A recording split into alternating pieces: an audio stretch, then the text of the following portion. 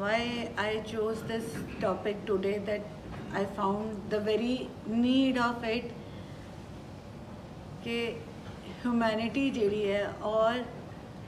Being human ਹੋਣਾ ਜਿਹੜਾ ਹੈ ਉਹ ਅਲੋਪ ਹੋ ਰਿਹਾ and it is giving birth to almost all the problems in the world ਔਰ ਉਹ ਸਾਰੇ ਸਵਾਲਾਂ ਦਾ ਇੱਕੋ ਹੀ ਜਵਾਬ ਹੈ ਇਨਸਾਨ ਦਾ ਇਨਸਾਨ ਹੋਣਾ ਆਦਮੀ ਦਾ ਆਦਮੀ ਹੋਣਾ ਔਰ ਸਾਡੀ ਰਿਕਵਰੀ ਦੇ ਵਿੱਚ ਵੀ ਇਹ ਕਿਸ ਤਰ੍ਹਾਂ ਅਫੈਕਟ ਕਰਦਾ ਹੈ that we will talk about ਪਹਿਲੇ ਤੇ ਡਿਫਾਈਨ ਕਰਨਾ ਕਿ what is humanity humanity is the quality which makes us human and which distinguishes us from other species ਜਿਹੜਾ ਸਾਨੂੰ ਬਾਕੀ ਸਾਰਿਆਂ ਤੋਂ ਵੱਖਰਾ ਕਰਦਾ ਹੈ ਤੇ ਸਾਨੂੰ ਕਿਹੜੀ ਚੀਜ਼ ਹੈ ਜਿਹੜੀ ਕਿ ਸਾਨੂੰ ਇਨਸਾਨ ਨੂੰ ਇਨਸਾਨ ਬਣਾਉਂਦੀ ਹੈ, ਉਹ ਦੋ ਚੀਜ਼ਾਂ ਨੇ, ਇੱਕ ਲਵ ਤੇ ਇੱਕ ਕੰਪੈਸ਼ਨ ਜਦੋਂ ਇਨਸਾਨ 'ਚ ਇੱਕ ਪਿਆਰ ਤੇ ਇੱਕ ਕੰਪੈਸ਼ਨ ਜਾਂ ਕਾਈਂਡਨੈਸ ਉਹਨੂੰ ਕਹਿ ਲੋ ਹੈ, ਤੇ ਵਾਕਈ ਹੀ ਅਸੀਂ ਇਨਸਾਨ ਹੁੰਦੇ ਆ ਜਦੋਂ ਇਹਨਾਂ ਦੋਨਾਂ ਚੀਜ਼ਾਂ ਦੀ ਕਮੀ ਹੁੰਦੀ ਹੈ, ਤੇ ਅਸੀਂ ਸਿਰਫ ਇਨਸਾਨ ਦੇ ਰੂਪ ਦੇ ਵਿੱਚ ਇੱਕ ਬਾਡੀ ਆ। ਇਹਨੂੰ ਮੈਂ ਇੱਕ ਬਹੁਤ ਵਧੀਆ ਐਨੈਕਡੋਟ ਨਾਲ ਐਕਸਪਲੇਨ ਕਰਦੀ ਆ ਕਿ ਇੱਕ ਗਰੀਬ ਜਿਹਾ ਆਦਮੀ ਸੜਕ ਤੋਂ ਲੰਘ ਰਿਹਾ ਹੁੰਦਾ ਹੈ ਸਵੇਰੇ ਸਵੇਰੇ ਤੇ ਉਹਨੂੰ ਪਿਆਸ ਲੱਗਦੀ ਹੈ ਤੇ ਪਿਆਸ ਲੱਗਦੀ ਹੈ ਤੇ ਦੇਖਦਾ ਹੈ ਕਿ ਇੱਕ ਆਫਿਸ ਖੁੱਲਿਆ ਹੁੰਦਾ ਵੈ। ਤੇ ਪਾਣੀ ਦੀ ਭਾਲ ਦੇ ਵਿੱਚ, ਚਾਹ ਦੇ ਵਿੱਚ ਉਹ ਆਫਿਸ ਤੇ ਚਲਾ ਜਾਂਦਾ ਹੈ ਤੇ ਦੇਖਦਾ ਹੈ ਕਿ ਕੋਈ ਬੰਦਾ ਨਹੀਂ ਹੈਗਾ, ਪਰ ਇੱਕ ਆਫਿਸ ਦਾ ਦਰਵਾਜ਼ਾ ਖੁੱਲਿਆ ਹੁੰਦਾ ਹੈ ਐਂਟਰੀ ਕਰਦਾ ਹੈ ਤੇ ਦੇਖਦਾ ਹੈ ਕਿ ਇੱਕ ਸੂਟਡ ਬੂਟਡ ਬੰਦਾ ਅੰਦਰ ਖੜਾ ਹੁੰਦਾ ਹੈ ਤੇ ਉਹਨੂੰ ਲੱਗਦਾ ਸ਼ਾਇਦ ਮੈਨੇਜਰ ਹੈ। ਉਹਨੂੰ ਬੜੇ ਪਿਆਰ ਨਾਲ, ਬੜੇ ਡਰ ਕੇ ਪੁੱਛਦਾ ਹੈ ਕਿ ਪਿਆਸ ਲੱਗੀ ਹੈ, ਮੈਨੂੰ ਇੱਕ ਪਾਣੀ ਦਾ ਗਲਾਸ ਪਿਲਾ ਦਿਓ। ਉਹ ਮੈਨੇਜਰ ਹੁੰਦਾ, ਉਹ ਕਹਿੰਦਾ, ਪਾਣੀ ਦਾ ਗਲਾਸ ਨਹੀਂ ਪਿਲਾ ਸਕਦਾ ਕਿਉਂਕਿ ਆਦਮੀ ਨਹੀਂ ਹੈਗਾ। ਕੋਈ ਆਦਮੀ ਨਹੀਂ ਆਇਆ, ਠਹਿਰ ਕੇ ਆਏ ਹਾਂ। ਫਿਰ 5 7 10 ਮਿੰਟ ਉਡੀਕਦਾ ਕਿ ਸ਼ਾਇਦ ਕੋਈ ਆ ਜਾਵੇ। ਪਰ ਕੋਈ ਨਹੀਂ ਆਂਦਾ। ਉਨੀ ਦੇਰ ਦੇ ਵਿੱਚ ਇੱਕ ਫੋਨ ਦੀ ਬੈਲ ਵੱਜਦੀ ਹੈ ਤੇ ਉਹ ਮੈਨੇਜਰ ਜਿਹੜਾ ਹੁੰਦਾ, ਉਹ ਫੋਨ ਅਟੈਂਡ ਕਰਨ ਲੱਗ ਪੈਂਦਾ ਹੈ। ਤੇ ਫੋਨ ਅਟੈਂਡ ਕਰਦਾ ਹੈ, ਫਿਰ ਉਹ ਥੋੜਾ ਇਸ਼ਾਰੇ ਨਾਲ ਉਹਨੂੰ ਕਹਿੰਦਾ ਹੈ ਕਿ ਮੈਨੂੰ ਪਾਣੀ ਦਿਓ। ਫਿਰ ਉਹਨੂੰ ਥੋੜਾ ਇਸ਼ਾਰੇ ਨਾਲ ਮੈਨੇਜਰ ਕਹਿੰਦਾ ਹੈ ਕਿ ਚਲਾ ਜਾ। ਜਦੋਂ ਉਹ ਫੋਨ ਬੰਦ ਕਰਦਾ ਹੈ, ਫਿਰ ਉਹਨੂੰ ਕਹਿੰਦਾ ਹੈ ਕਿ ਪਾਣੀ ਪਿਲਾ ਦਿਓ, ਬੜੀ ਪਿਆਸ ਲੱਗੀ ਹੈ। ਫਿਰ ਮੈਨੇਜਰ ਦਾ ਉਹੀ ਜਵਾਬ ਹੁੰਦਾ ਹੈ ਕਿ ਕੋਈ ਆਦਮੀ ਨਹੀਂ ਹੈਗਾ। ਤੇ ਉਹ ਇਨਸਾਨ ਜਿਹੜਾ ਗਰੀਬ ਹੁੰਦਾ, ਉਹ ਕਹਿੰਦਾ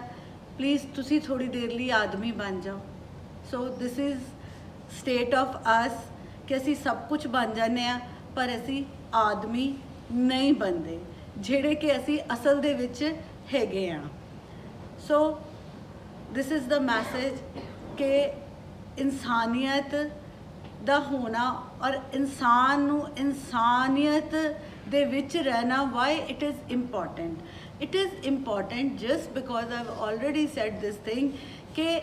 ਸਾਰੀਆਂ ਪ੍ਰੋਬਲਮਸ ਦਾ ਇੱਕੋ ਹੀ ਹੱਲ ਹੈ ਤੁਹਾਡਾ ਇਨਸਾਨ ਹੋਣਾ। It is only with humanity that we can bring oneness to the whole of the world and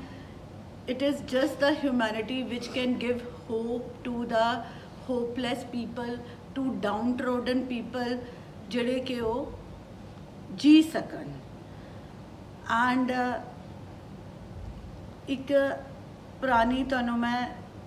real life ਚੀਜ਼ ਦੱਸਦੀ ਆ ਕਿ ਸਾਡੇ ਸਾਰਿਆਂ ਨੂੰ ਯਾਦ ਹੋਏਗਾ ਕਿ ਥੋੜੀ ਦੇਰ ਪਹਿਲਾਂ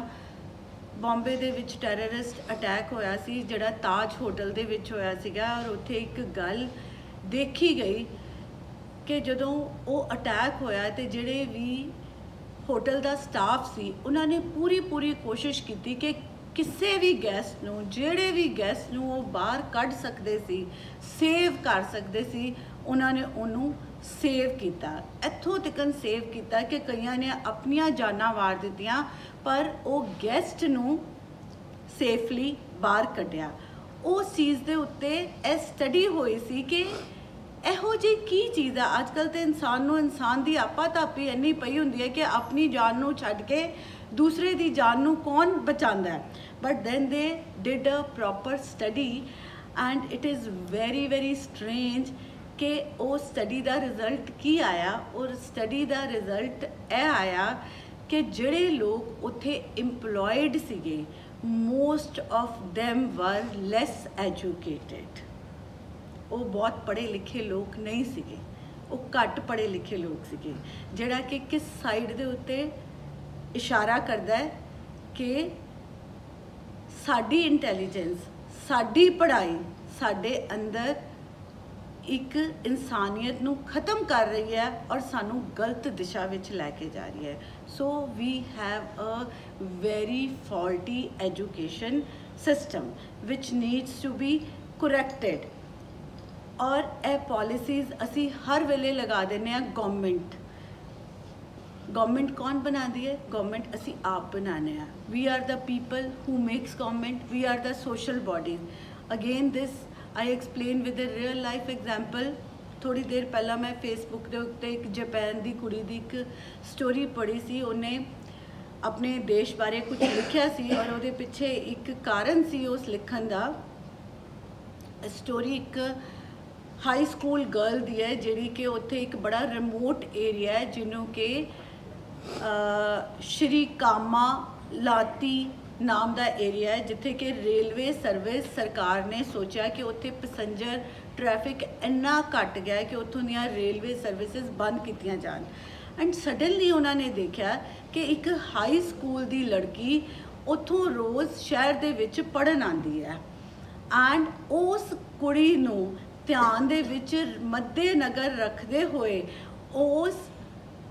ਰੇਲਵੇਜ਼ ਦੀਆਂ ਸਰਵਿਸਿਜ਼ ਨੂੰ ਨਾ ਬੰਦ ਕਰਨ ਦਾ ਨਿਰਣੇ ਲਿੱਤਾ ਗਿਆ ਔਰ ਉਸ ਕੁੜੀ ਦੇ ਅਕੋਰਡਿੰਗਲੀ ਰੇਲਵੇ ਸਰਵਿਸਿਜ਼ ਨੇ ਆਪਣਾ ਸ਼ਡਿਊਲ ਚੇਂਜ ਕੀਤਾ ਔਰ ਇਹ ਐਕਟ ਪਾਸ ਕੀਤਾ that till the girl graduates the services to this area will continue and the girl is written on her facebook ke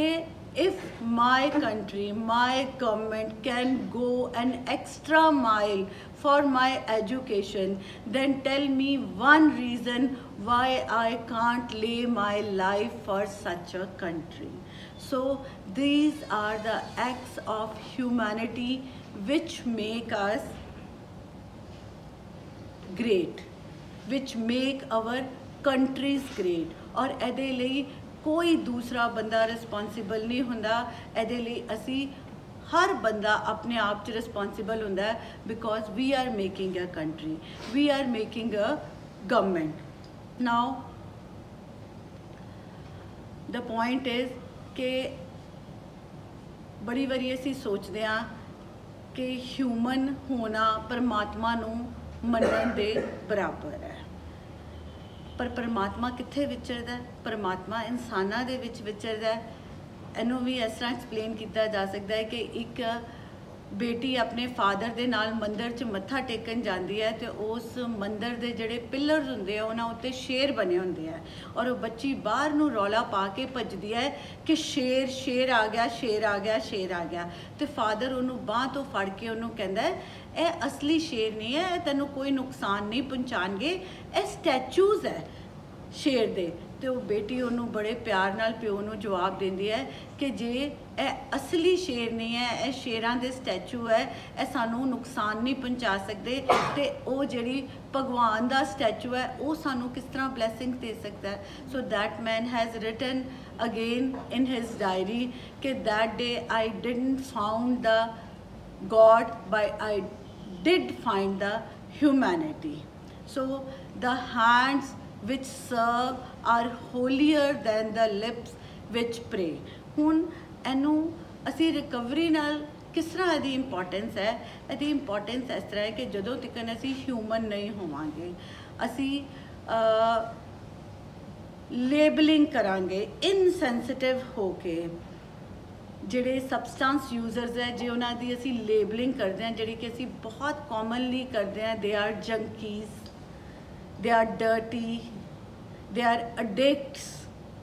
So mind this, this type of labeling.